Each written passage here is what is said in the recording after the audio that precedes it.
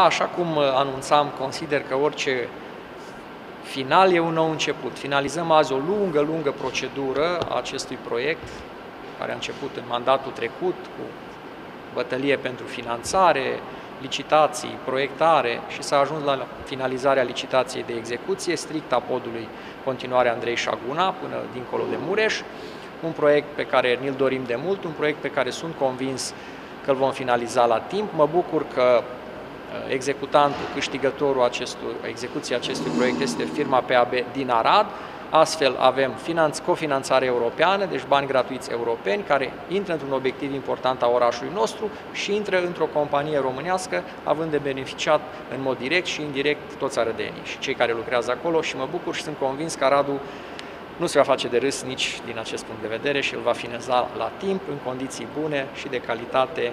și de încadrare în toate termenele impuse. Firma ABAB este o firmă din România, din Arad și sunt uh, bucuroși în același timp onorat, dar cu responsabilități foarte mari pentru a realiza acest proiect. Ne recomandă faptul că avem o tradiție de 20 și ceva de ani ca firmă, suntem înființați în 1993, cu experiențe mari în diverse lucrări, inclusiv în partea de poduri, de drumuri, de platforme și cred că vom reuși să facem uh, această investiție în timp, la calitatea dorită, cerută și cu cât mai puțin deranj pentru cetățenii Aradului.